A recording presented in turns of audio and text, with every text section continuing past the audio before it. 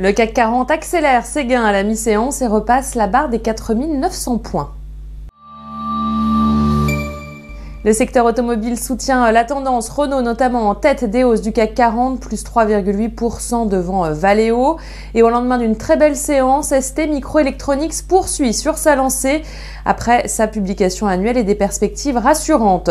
Vetoquinol gagne 5%, soutenu par un chiffre d'affaires annuel en hausse de plus de 3%.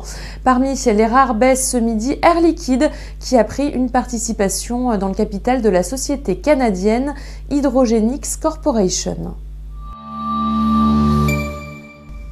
Le CAC 40 reste donc bien orienté avant une semaine qui s'annonce chargée en rendez-vous pour les marchés, avec la Chambre des communes qui se prononcera le 29 janvier sur plusieurs amendements destinés à éviter un Brexit sans accord, la réunion de la Réserve fédérale qui se tiendra les 29 et 30 janvier, enfin une délégation chinoise est attendue à Washington pour poursuivre les discussions sur le conflit commercial opposant la Chine et les États-Unis.